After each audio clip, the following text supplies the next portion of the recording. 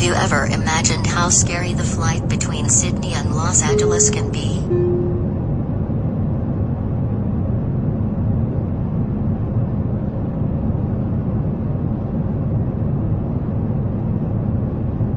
Now passing by some isolated islands in the middle of the ocean.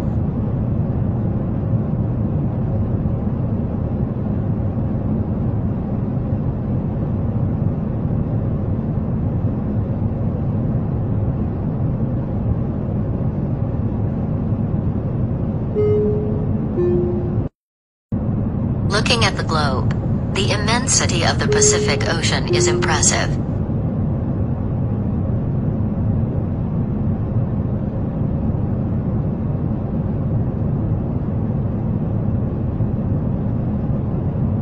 Onur, in recent years, the quality of travel has dropped significantly. There are many reports of lost luggage, sale of tickets for flights that have already been cancelled and other serious problems.